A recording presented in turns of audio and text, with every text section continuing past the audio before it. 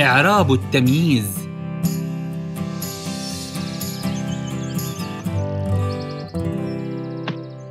مرحبا بكم. معكم الخوارزمي مرة أخرى. اليوم يا أصدقائي حلقة مثيرة جدا. سوف أستضيف أنا وصديقي هاني أشهر رجل في عالم النحو وهو أبو الحلول. وذلك ليحدثنا عن موضوع أجده صعبا إلى حد ما. هو موضوع التمييز. هيا بنا لنبدأ. تفضل يا هاني. شكرا يا ليث مرحبا أصدقائي. طبعا كلكم تعرفون أبو الحلول. في هذه الحلقة سوف نعرض عليه مشكلتنا أنا وليث مرحبا يا أبا الحلول. مرحبا. كيف يمكن أن أساعدكما؟ أنا وليث اختلفنا في أهمية التمييز في اللغة العربية. في حين لا أجده هاما جدا يجده ليث من أجمل ما في اللغة العربية ما رأيك؟ مم. أحب حماس الشباب لنتذكر أولا ما هو التمييز التمييز هو اسم نكرة مفرد جامد فضلة ليس من أصل الجملة منصوب يذكر ليزيل غموض ما قبله هل صورت هذا يا ليث؟ أنت على الهواء يا أبو الحلول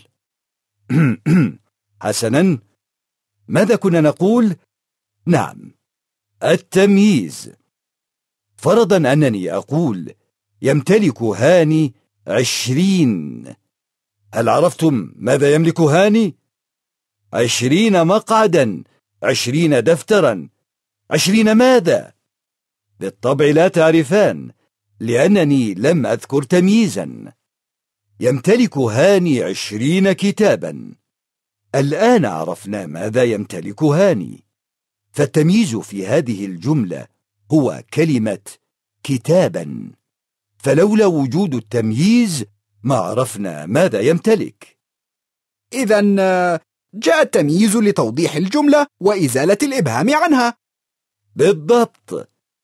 وهذا المبهم الذي يأتي قبل التمييز بالمميز وينقسم إلى المميز الملفوظ المميز الملحوظ بالطبع تعرفان الفرق بينهما هل تخبرنا من فضلك عن الفرق بينهما لكي يعرف متابعونا على الشبكة؟ بالطبع المميز الملفوظ هو الاسم المبهم الذي يذكر قبل التمييز وأنواعه هي الوزن قنطارا كيلو رطلا لترا طنا جراما مثقال ذرة إلى آخره. والمساحة فدان قراط ميل هكتار متر فرسخ سهم دنم ذراع شبر فتر. والكيل مد صاع كيلة قدح إلى آخره. والعدد من أحد عشر إلى تسعة وتسعين. في يوم الجمعة ذهبت إلى السوق واشتريت مترا حريرا ودفعت أربعين درهما. هل هذا هو التمييز الملفوظ؟ نعم هذا التمييز ملفوظ. أما التمييز الملحوظ هو الاسم الذي يلحظ من الكلام من غير أن يذكر ويأتي ليوضح إبهام جملة قبله. إذا قلنا شرب الطفل كوبا من حليب هل يوجد تمييز في هذه الجملة؟ لا حليب هنا لا تعرب تمييزا فقد سبقها حرف جر وأصبحت اسما مجرورا بمن وعلامة جره تنوين الكسر الجملة صحيحة بتمييز ملحوظ تكون شرب الطفل كوبا حليبا تعرب حليبا هنا. تمييز منصوب. وعلامة نصبه تنوين الفتح. لقد فهمت. يجب أن يتبع التمييز المميز بدون أي فاصل. أحسنت. هل تعرف مواضع تمييز المميز الملحوظ؟ نعم. أتذكر بعض الأمثلة من الدرس.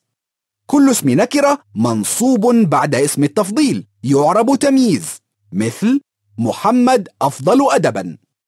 كل اسم نكرة منصوب بعد نعمة وبئس يعرب تمييز مثل نعم عملا الصدق.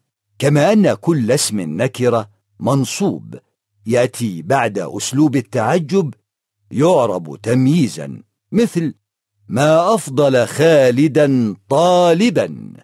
تذكرت موضعا آخر. كل اسم نكرة منصوب بعد كم الاستفهامية؟ يعرب تمييز. مثل كم طالبا في المدرسة؟ أيضا كل اسم نكرة منصوب بعد فاعل كفى. مثل كفى بالله وكيلا. وختاما الأفعال. اشتعل ازداد امتلأ طاب قر كبر طاب تصبب إذا جاء بعدها اسم نكرة منصوب يعرب تمييزا مثل قلب امتلأ إيمانا أه ما رأيكما؟ هل التمييز ضروري وهام للغة العربية أم لا؟ بكل تأكيد حسنا أعتقد أنكما ستدركان أهمية هذه الدروس عندما تبيض لحاكما مثلي وحتى تبيض لحانا أتمنى لكل متابعيني وأصدقائي وقتا ممتعا مع اللغة العربية. وإلى اللقاء مع ضيف جديد ودرس جديد.